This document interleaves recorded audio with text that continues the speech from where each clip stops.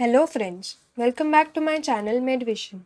If you are new to my channel, please don't forget to subscribe my channel and also hit the bell icon to never miss the new update.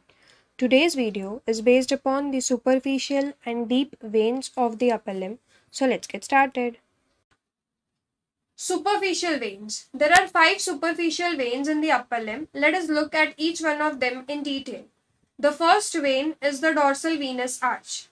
This is the dorsal venous arch. Its tributaries include three dorsal metacarpal veins, dorsal digital vein from the medial side of the little finger, a dorsal digital vein from the radial side of the index finger, and two dorsal digital veins from the thumb. All these veins constitutes the tributaries of the dorsal venous arch.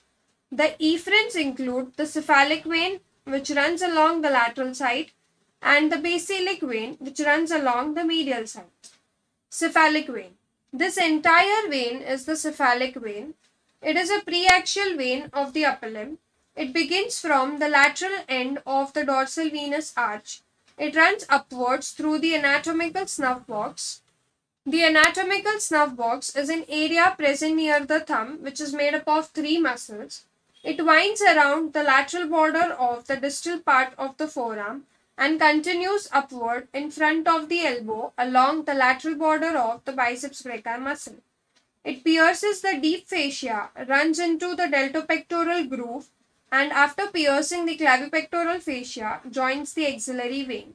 This light blue color vein represents the axillary vein. To watch my video on clavipectoral fascia, click onto the I button or check out the link provided in the description box. At the elbow, the greater part of the cephalic vein is drained into the basilic vein with the help of the median cubital vein.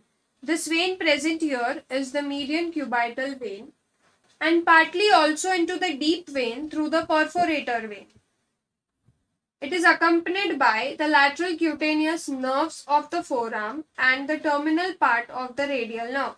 An accessory cephalic vein is sometimes present. The basilic vein.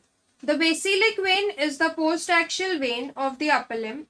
It begins from the medial end of the dorsal venous arch. It runs upwards along the medial border of the forearm, winds around this border near the elbow, continues in front of the elbow along the medial margin of the biceps brachii muscle up to the middle of the arm where it pierces the deep fascia and joins the axillary vein at the lower border of the teres major muscle. This blue color vein represents the axillary vein. At about 0.25 centimeter above the medial epicondyle of the humerus, it is joined by the median cubital vein.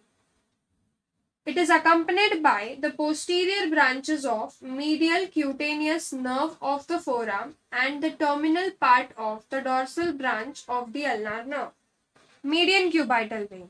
This is the median cubital vein. It is a large communicating vein which shunts the blood from the cephalic vein to the basilic vein. It begins from the cephalic vein, runs obliquely upwards and medially to end into the basilic vein. It is separated from the brachial artery by the bicipital aponeurosis.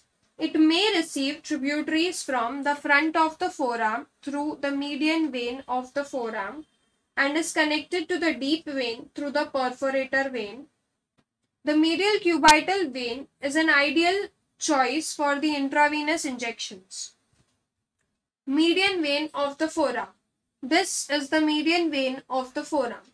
It begins from the palmar venous network and ends in any one of the vein in front of the elbow, mostly into the median cubital vein. Next we have is the deep vein. The deep vein starts as a small venae commitans running on each side as the digital veins. These veins continues proximally as the superficial and deep palmar arches. Then they courses proximally to continue as venae commitans of the major arteries. So the veins are the radial and ulnar vein which further joins to form the brachial vein. The brachial vein lies on each side of the brachial artery. These joins the axillary vein at the lower border of the teres major muscle. To download this image, visit my Facebook or Instagram page. The links are provided in the description box. If you find this video helpful, please don't forget to like, share and subscribe my channel. Also join me on my Instagram and Facebook page for notes, quizzes and charts of these videos. The links are provided in the description box. See you soon in my next video.